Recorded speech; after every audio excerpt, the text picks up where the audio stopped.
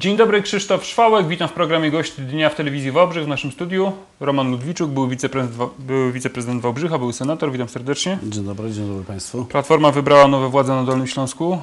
Nie ma w nich Grzegorza Schetyny i nie ma Romana Szełemeja. To jest dobra wiadomość dla Wałbrzycha, czy zła? Ja, my- ja myślę, że to wybory były demokratyczne, a czy jest dobra, czy zła, to życie pokaże. Mamy swojego przedstawiciela, mamy, y, mówię o Wałbrzychu w zarządzie regionu, jest to pani poseł y, Katarzyna Mrzygłocka. Myślę, że ten układ y, personalny nic nie zmieni, jeżeli chodzi o Wałbrzych i patrzenie na Wałbrzych. A o siłę przebicia w Wałbrzychu?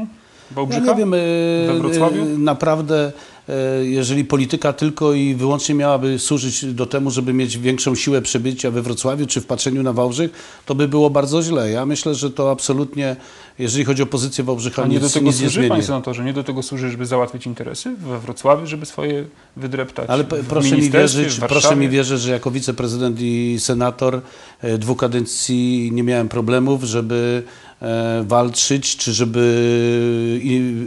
reprezentować interesy Wałbrzycha. Inna rzecz, że determinacja tych os- osób, to co się wychodziło, trzeba było tylko przełożyć na to, co, żeby to było w Wałbrzychu. I to tylko determinacja już od tutaj tych czynników wykonawczych e, zależała, jak to zostanie e, dalej przeprowadzone i potoczone.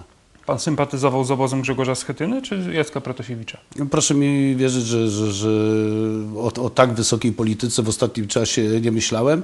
Jak E, to nie wierzę, panie senatorze. To Nie wierzy pan, dobrze. To nie wierzę. W, taki, w takim razie powiem, że, to, co już powiedziałem, że to były wybory demokratyczne, wygrał y, Jacek Protasiewicz. Ale pan kibicował? być może zasiedzenie na, jednej, na jednym miejscu zbyt długie nie służy patrzeniu jakby szerszemu na to, co się wokół nas y, dzieje. Ja powiem, Czyli że... wypadało zmienić szefa, bo się zasiedział? To znaczy, ja nie chcę powiedzieć, że wypadało zmienić e, szefa. Niewątpliwie wielka postać polityczna i nie tylko polityczna, jaką jest Grzegorz Schetyna. Być może jego doradcy, być może jego współpracownicy byli, że tak powiem, e, może nie gwoziem do, trumny, ale na pewno mu nie pomagali. Mam tu na myśli kilka nazwisk, ale proszę mnie o nie nie pytać, bo oczywiście ich nie wymienią. Czy zdradzili? Może nie zdradzili, tylko, e, że tak powiem, e, zatracili w pewnym sensie, jak można tak powiedzieć, kontakt, kontakt z rzeczywistością ją otaczającą.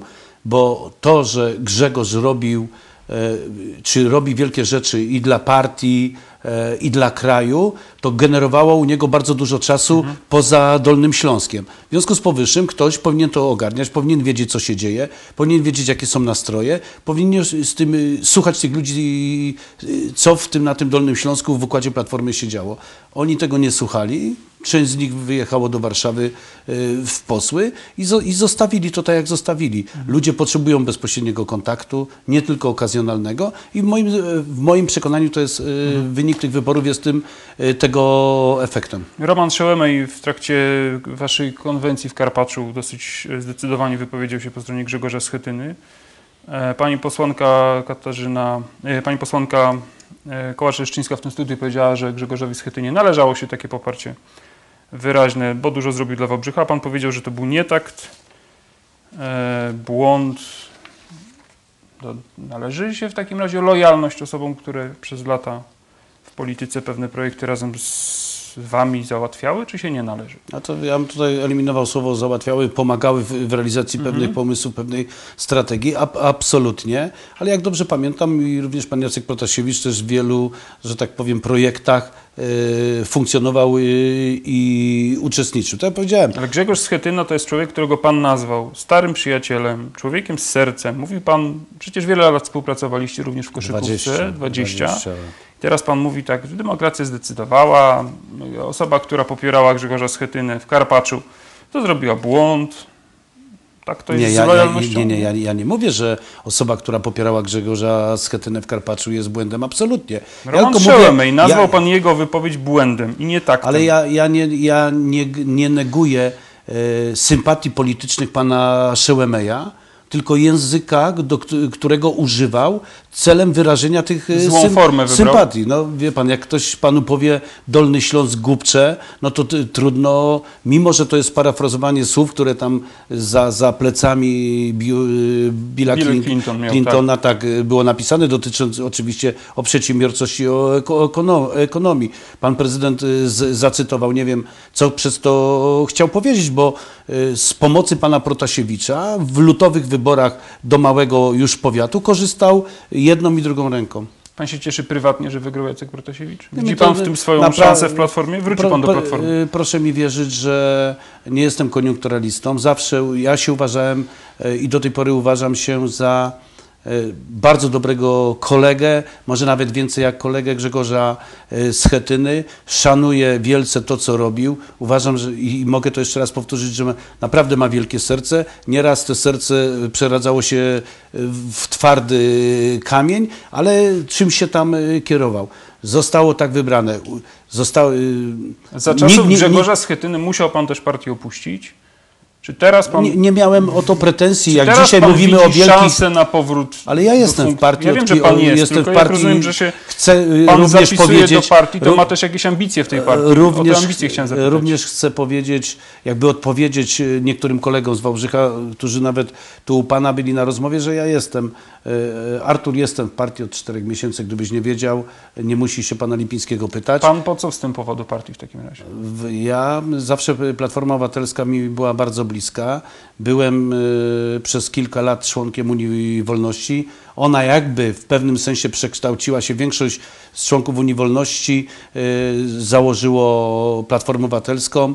Y, te, cent, ce- te centrum, jeżeli chodzi o, o, o patrzenie na tą rzeczywistość y, i, i te myślenie w miarę liberalne, bardzo mi odpowiadało. Przez ostatnie miesiące, nawet lata, nie krył pan, że pan jest w wewnętrznej opozycji w Platformie, na przykład wobec Romana Szełemeja i jego polityki. Czy teraz to, że Jacek Protasiewicz wygrał na Dolnym Śląsku i inaczej te klocki układa, widzi pan w tym swoją szansę na to, żeby jeszcze w Platformie i w samorządach większą rolę odgrywać? Nie, ja nie aspiruję do takich jakichś wiel, wielkich y, ról, czy w Platformie Obywatelskiej, czy w samorządzie. Porozmawiajmy o niewielkich rolach. Dzisiaj O- muszę o skupić się W wyborach y, samorządowych w przyszłym roku. Na, proszę mi wierzyć, że w układzie samorządowym raczej nie będę aspirował o żadne funkcje, o, nie będę startował w żadnych y, wyborach. To mogę panu zagwa, zagwarantować. Mówimy o tym, o tym samorządzie lokalnym, gminnym, powiatowym. Nie wiem, co będzie z województwem. Być może, być może rozważę, czy rozważał będę możliwość, jeżeli będzie taka możliwość wystartowania do A to, że teraz Katarzyna. Mrzygłocka będzie miała większy wpływ na układ tych list, zwiększa pańskie szanse? No, ja, moim zdaniem, nie wiem, czy Katarzyna Mrzygłocka będzie miała większy. No, jest w zarządzie regionu i na pewno większy jednym, niż z Roman 17, Szełemej jeden z 17 członków zarządu. Zarząd będzie akceptował pewne e, propozycje, które będą przekazywane, nie wiem, z gmin.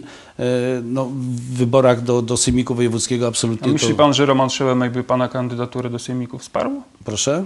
Myślę, że nie wsparłby. No to są szanse teraz większe niż były? No ja muszę panu powiedzieć, że ja na przykład też kandydatury Romana Szełemeja na prezydenta na następną Wałbrzycha nie wsparłbym.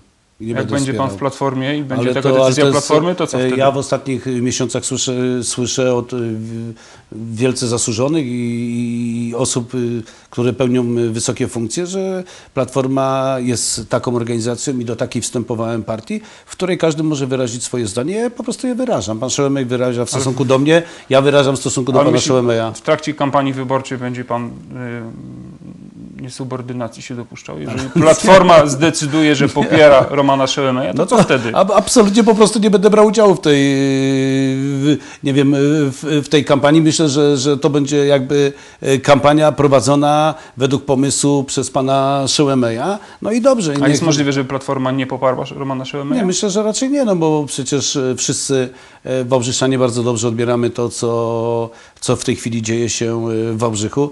Zastanawiamy się tylko, czy... Dlaczego dlaczego pan nie poprze, skoro pan... Zastanawiamy się popiera? Z, takich sam przyczyn, y, jak zostałem przez pana Szołemeja potraktowany i tyle. No, ale, a, a głębiej panu tego nie będę tłumaczył, bo, bo nie ma takiej Nie, to są pana prywatne potrzeby. interesy wtedy. Nie, to nie są moje prywatne y, interesy. Ja nie, ja Pan nie, został przez ja- Romana ja, Szymeja tak potraktowany, bo nie przywrócono pana do ratusza? Nie, absolutnie. Ja, no, ja naprawdę. O jakich innych no, mówi ja, pan ja dlatego panu mówię, że, że, że ja o tym e, nie chcę rozmawiać, bo to są moje oso, osobiste sprawy i niezwiązane również są z polityką, ale e, Ale polityka prezydenta się panu podoba w Wałbrzychu, czy się nie podoba? e, zależy o czym mówimy. O polityce o- jako polityce, czy O inwestycjach. No, Sposobie jest- wydawania budżetu, o nie, sposobie no, komunikacji. Nie, nie, no, sam ogrom tego, co się dzisiaj dzieje w Wałbrzychu, absolutnie mi się podoba i ja to wspieram i, i popieram. Boję się tylko, żebyśmy tego wszystkiego na kredyt nie robili, bo ktoś potem y, rachunek za to będzie musiał y, zapłacić.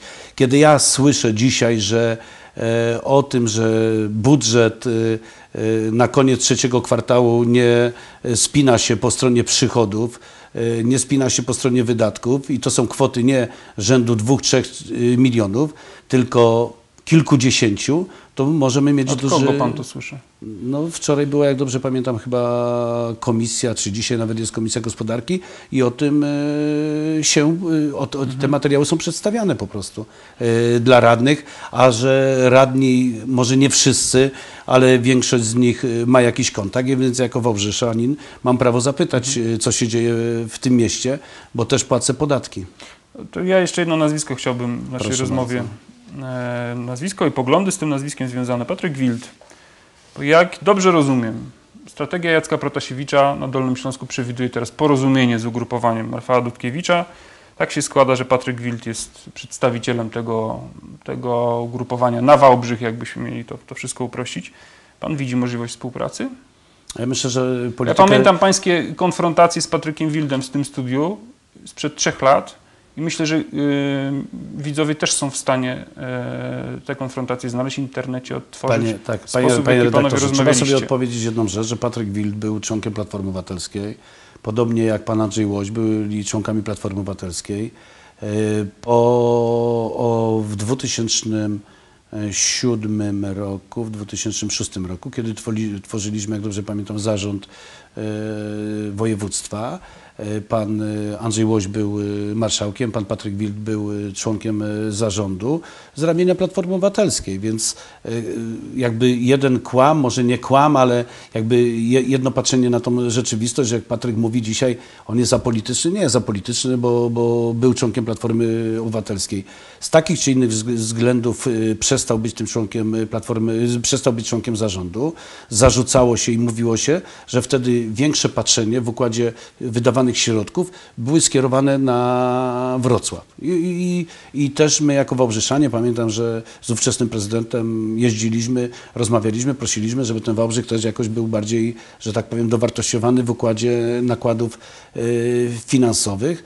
Stało jak się stało, Patryk Wild z, z Andrzejem Łosiem odeszli, y, włączyli się Dobrze, w ruch, o- który stworzył Rafał. historia, panie senatorze. Nie, czy my- można musimy ją- z nim współpracować teraz? no Pan to- wyobraża sobie sytuację, że w, ramach, w, w zamian za koalicję na szczeblu wojewódzkim, czy w zamian za koalicję we Wrocławiu, e, Platforma się zgadza na to, żeby Patryk Wild był, nie wiem, wiceprezydentem w Wałbrzychu po kolejnych wyborach? Bo Nie, robimy no to układy ja, wszędzie. Ja, ja, ja, myślę, że tak, że po pierwsze to nie, nie robimy żadnych układów.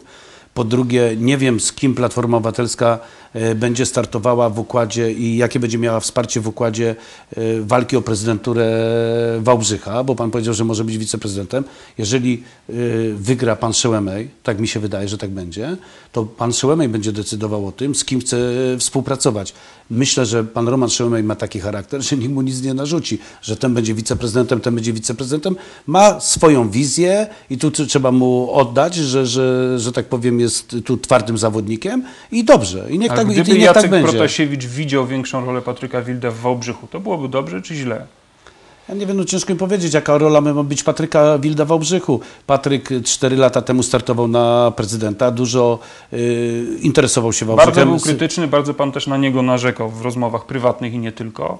Napsuł wam trochę krwi. E, No, napsuł nam trochę krwi, że tak powiem, bo ot- otworzył, że tak powiem, na pewne obszary e, też oczy, oczy nam, którym, e, które gdzieś przechodziły obok nam te kilka lat temu. Dzi- wskazał nam, e, w którym stronę trzeba iść. Myślę, że to jest wszystko realizowane. Ja w polityce nie ma e, słowa nigdy, nie wykluczam e, absolutnie takiej współpracy, ale jeszcze raz powtarzam, nie ja o tym będę decydował i nie ja jestem decydentem. To o takie pytania proszę pytać y, szefów y, Platformy Wałbrzychu, y, członków zarządu, którzy reprezentują Wałbrzych w zarządzie Platformy Staraliśmy się zapytać, niestety nie wszyscy do naszego studia byli w stanie dotrzeć. Dobrze pan wie, o kim mówię. Tak, tak, Ostatnie- wiem, ale może to dlatego też, że, że pani poseł, że tak powiem, ma, no, no, no, obchodzi imieniny i tam wie- wiele osób, wielu znajomych y, do niej przychodzi, być może z, z tego kazała pana przeprosić, że nie może być, ale jest to nie, mnie, absolutnie to do nie o mnie chodzi, chodzi o Tak, widzów. o E, widzów. Będziemy oczywiście e, w dalszym ciągu liczyć na wizytę pani, pani poseł w naszym studiu. Chciałem zapytać jeszcze o, o to, jakie mogą, zmiany w Platformie, jaką, jakie mogą mieć personalne konsekwencje w zarządzie województwa, w sejmiku. Skoro pan się spotyka z posłami, może coś mówią. Ja myślę, ja, e, Jerzy tutaj utrzyma stanowisko, czy nie utrzyma? Ja myślę, że raczej rewolucji w zarządzie nie będzie. Myślę, że Jurek e, tutaj pokazał się, że tak powiem, e, z dobrej strony i w układzie, przede wszystkim w układzie me- merytorycznym.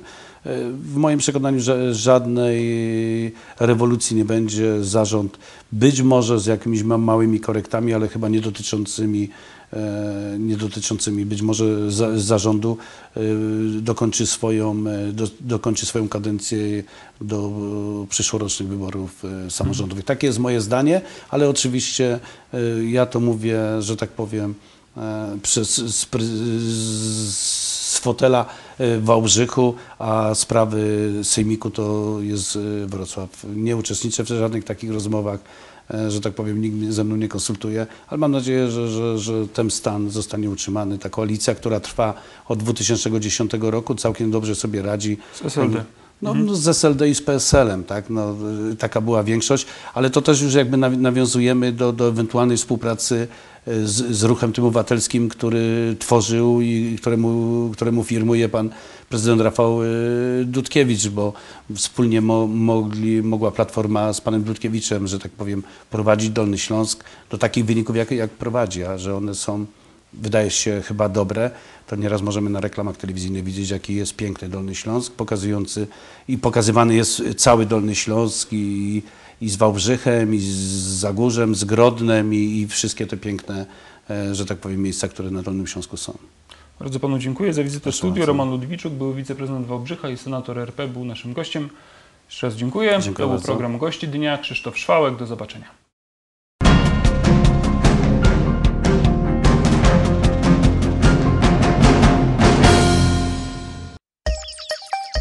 Nasze serwisy informacyjne i program Gość Dnia również w internecie. www.tvwałbrzych.pl Więcej informacji znajdziesz też na portalu wałbrzych24.com